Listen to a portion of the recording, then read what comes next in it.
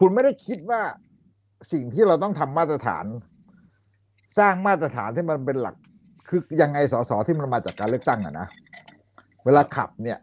เวลาขับเนี่ย ที่เขาบอกให้ใช้เสียงสามในสี่ก็ตามแต่เนี่ย คือมันหมายความว่าคุณต้องมั่นคง แล้วก็แน่นอนว่ามันเด็ดขาดใช่ปะเพราะฉะนั้นเนี่ย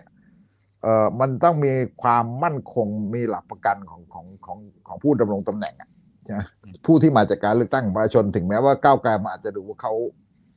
เข้ามาด้วยกระแสพรรคก็ตามแต่ แต่ว่ามันต้องมีความมั่นคงแน่นอน มันเราต้องสร้างไม่สร้างมาตรฐานที่ว่าเฮ้ย อีกสองมีเดี๋ยวอีกสักครู่มีคนเอาแชทไอ้นั่นไอ้นี่แบบ เมื่อสองสามปีที่แล้วอะ คุยกับสาวอะไรต่างๆเนี่ยอืมภาษาเฮงซวยอะไรต่างๆเนี่ยเอาเอามาแฉแล้วว่าไอ้นี่มันต้องพ้นจากสสใช่ป่ะมคือคืออย่างน้อยมันต้องมีหนึ่งเนี่ยคุณต้องคุณต้องแบบว่าเอ่ออย่างน้อยที่สุดทีมงานเนี่ยไม่เหมาะสมอย่างยิ่งเลย แล้วก็สองก็คือว่าเนี่ย คุณใช้อำนาจหน้าที่อันนี้ผิดจัดผิดจัดเลยใช่ป่ะเนี่ยเพราะฉะนั้นเนี่ยมันไม่ใช่ว่าสสมีความสัมพันธ์กับทีมงานแล้วคุณต้องพ้นจากสสแต่ว่าอันนั้นน่ะผิด แต่ว่ามันยังไม่ได้ผิดถึงขั้นที่คุณจะต้องพ้นจากสสมันต้องมีการใช้อำนาจหน้าที่ด้วยไง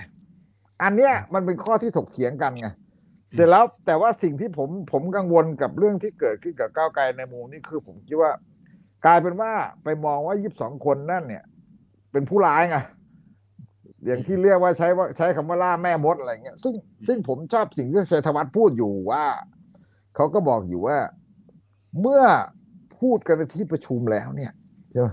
ให้พูดกันเต็มที่แล้วให้มีคนที่สนับสนุนให้มีคนที่เห็นต่าง ให้มีคนที่โต้แย้งแล้วเนี่ย ใช่ไหมฮะ คือคือพูดแล้วมันต้องจบนะพูดแล้วมันต้องจบ ถ้าเอาชื่อออกมาแบบคล้ายๆกับว่าคุณแบบคล้ายๆว่าไม่ใช่ออกมาข้างนอกแล้วโจมตีกัน คำนี้คำสำหรับผมเนี่ย ผมผมมองมัสนองจะมุมีมผลนะทำให้พักแตกแยกกว่านี้ ใช่คือคุณต้องยอมรับการลงมติที่มันเข้าใจที่พี่แตติ๊กกพูต่างดกันใช่ไหมคือคุณต้องยอมรับการลงมติไม่ใช่คุณออกมาร้องโวยวายด่าฝ่ายตรงข้ามพวกอุ้มกันอืมซึ่งอันเนี้ยไม่ใช่นะ